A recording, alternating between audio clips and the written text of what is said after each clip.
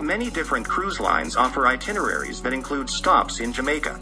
Some of the major cruise lines that visit Jamaica include Royal Caribbean International, Carnival Cruise Line, Norwegian Cruise Line, MSC Cruises, Princess Cruises, Celebrity Cruises, Disney Cruise Line, Holland America Line, Costa Cruises, Seabourn Cruises, and many others. These cruise lines offer a variety of itineraries that include stops in popular Jamaican ports, such as Ocho Rios, Montego Bay, and Falmouth. It's always a good idea to research the different cruise lines and itineraries to find the one that best suits your preferences and budget. Destination Jamaica tours cater to cruise ship passengers who want an all inclusive tour activity in Jamaica for the day. Visit our link in the description.